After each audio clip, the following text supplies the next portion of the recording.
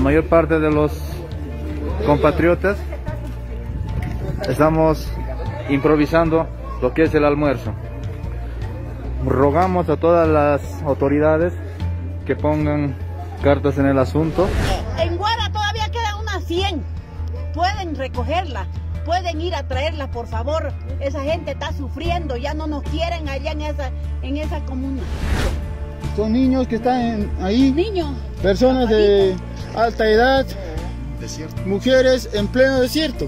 Eh, pues, un En pleno desierto, desierto. desierto. Quiero que haga conocer este video a las autoridades. no hay, no ha entrado. Entonces es importante poder hacer evaluaciones a partir del 15 de abril y poder tomar determinaciones, pero hay que evaluar, hay que ver cómo se comporta esta semana esta, esta pandemia. bioseguridad, que es lo más fundamental en este momento, y también vamos a poder informarnos y fundamentalmente el ministro de Salud va a poder informarse cómo está organizado la red de salud de aquí en Yungas.